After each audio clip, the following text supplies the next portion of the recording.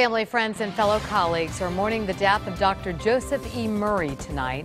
Dr. Murray performed the world's first successful kidney transplant in 1954 in Boston.